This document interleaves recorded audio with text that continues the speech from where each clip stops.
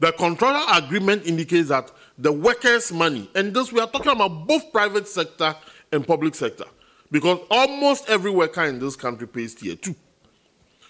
We enter into a contractual agreement that I am buying bonds at X percent.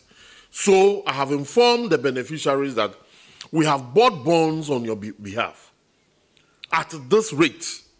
All of a sudden, government, who is the other party in the agreement, comes to say, for me, this is what I can pick. Take it or leave it. This will not be accepted. My union, NAGRAT, the teacher unions will not accept this.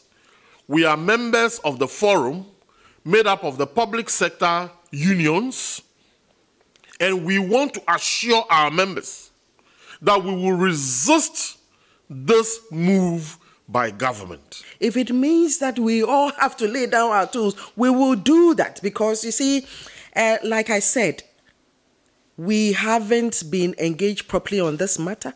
What has been communicated is not something that, um, in our view, will serve the interests of workers and of our pensioners well. It would it wouldn't serve them.